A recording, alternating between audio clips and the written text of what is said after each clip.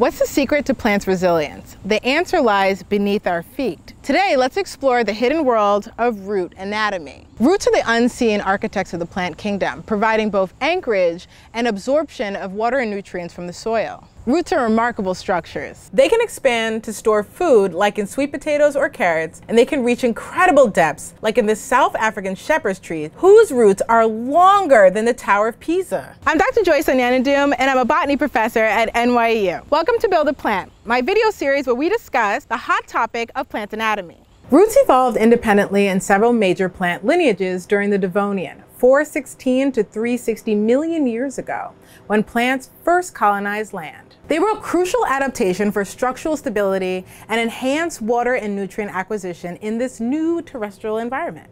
In turn, roots paved the way for complex plant life, altering the ecosystems that they occupy. Root growth begins with the primary root, formed during embryo development and is driven by the activity of the root apical meristem, also known as the ram, near the tip of the root. If we examine a longitudinal section of an Arabidopsis primary root apex, it can be divided into four distinct developmental zones. Near the tip is the meristematic zone, a region of actively dividing cells. It contains a stem cell niche, or SCN, a group of cells that remain undifferentiated and divide asymmetrically to produce daughter cells. As they get pushed out from the SCN and meristematic zone, they pass through the transition zone, where they undergo physiological changes as they prepare for elongation, forming central vacuoles and remodeling their cell walls.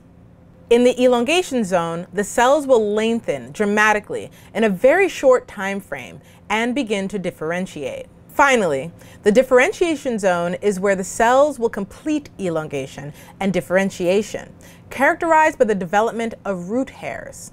Which of these zones overlaps with the RAM is a matter of debate. Some researchers use RAM and meristematic zone interchangeably. Others will say the RAM and SCN are synonymous. Some define the RAM as all cells that are actively dividing and capable of differentiation and that can even vary between species. But what we can all agree is that the cells in the late elongation zone and differentiation zone are no longer meristematic. Unlike the shoot, which we'll explore in our next episode, the ram produces cells in both directions, towards the plant axis, forming the main body of the root, and away from the plant axis, forming the root cap.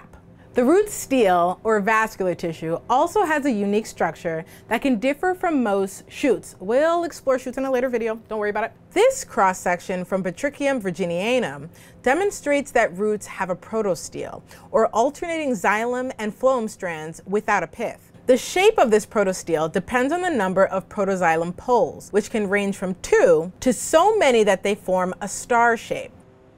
Outside of the protostele, we find the pericycle, which is sheathed by the endodermis, known for its Casparian strip that filters what can and cannot enter the root vasculature.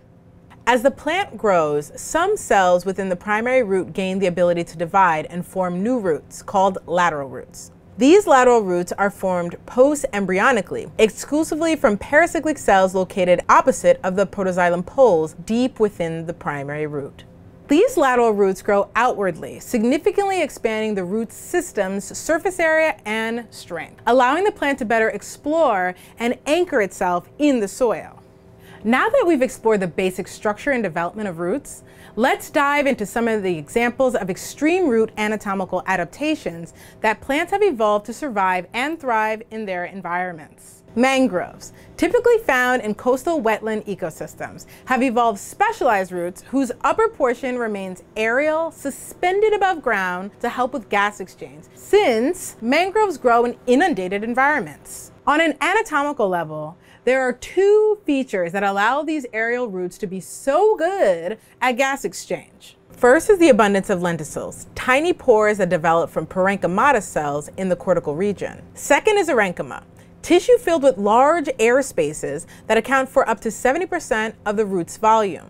The lenticels and aerenchyma work together in the aerial roots to supply oxygen to the underground portions which are submerged in water. Epiphytic plants, such as epiphytic orchids, are known for their adventitious roots, or post-embryonic roots that develop from stems, leaves, or other vegetative non-root organs. Adventitious roots can form either constitutively or due to stress from pericyclic cells that are predetermined for root formation in the stems. They facilitate plant anchorage, allowing plants to develop vertically and explore aerially in the canopy. Cycads have evolved specialized fibers that allow for contractile roots, which aid in anchoring these plants securely in the soil during seedling establishment. We got to see them in action in Dr. Dennis Stevenson's lab at the New York Botanical Garden. The fibers are gelatinous and occur in the root's secondary phloem. They have unique cell wall features that allow them to contract and pull the roots deeper into the soil. Let's recap. Roots are vital structures in plants, providing anchorage and absorption. Root growth starts with the primary root, driven by the root apical meristem, the ram, near the tip. Cells move through four developmental zones as they mature and differentiate. At the center of the root, you'll find a protostele surrounded by the pericycle, which is crucial for forming lateral roots that enhance the root system's surface area and strength. And encasing it all is the endodermis, providing a filtration system for the entire plant. Extreme root anatomy can be found throughout the plant kingdom, reflecting different adaptations to harsh environments. Root anatomy research can lead to improved crop breeding for better water and nutrient uptake, enhancing food security and reducing environmental impact. Next time you're outside, take a moment to appreciate the hidden world beneath your feet.